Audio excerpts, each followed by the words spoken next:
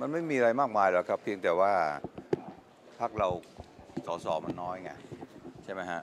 สสน้อยก็ต้องทำงานในสภา แล้วต้องทำงานนอกสภาอีกนะแล้วต้องช่วยกันบริหารพักเพื่ออนาคตต่อไปอีกนะและในการตั้งการบริการของเราเนี่ยใช่ไหมฮะถ้าเราเอาสสของเราเนี่ยไปทำหน้าที่หมดเลยเนี่ยนะมันก็การบริหารพักนะการทำงานในสภามันก็ไม่สะดวก แล้วพวกนี้ยังต้องเป็นกรรมธิการต่างๆอีกหลายคณะด้วยกันนะครับ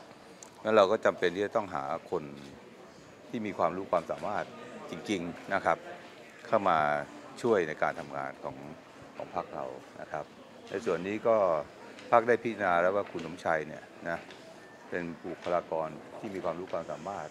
ในเรื่องนี้จริง แล้วก็ก่อนที่พรรคจะเสนอชื่อก็สอบถามนะ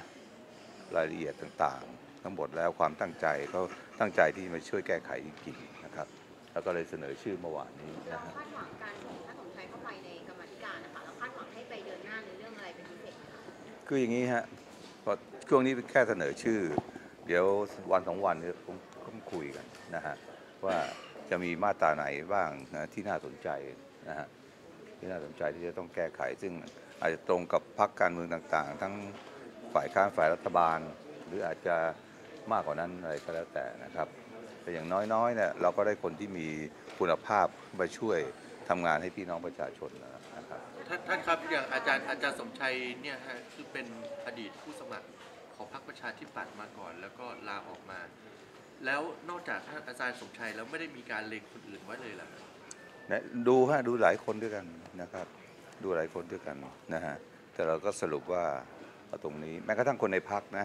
คนในพักหมายถึงผู้สมัครในพักหลาย ๆ ท่านด้วยกันนะซึ่งเราก็มีความรู้ความสามารถด้วยกัน แต่ไม่มีไม่ได้เป็นสสนะเขาก็ช่วยทำงานได้ แต่เราคิดว่า